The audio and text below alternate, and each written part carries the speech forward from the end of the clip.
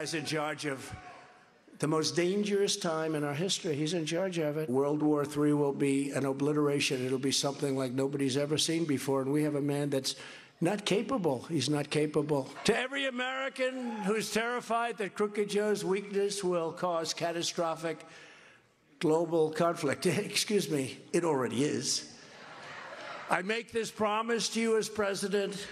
I will restore peace through strength, and we will prevent, we will stop World War III.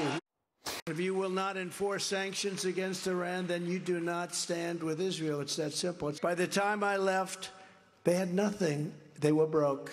They were broke. The Iranian regime could barely afford to turn out the lights. The minute I'm back in the White House, not only will I impose the most crippling sanctions in history, we will also unleash the most powerful economic weapon.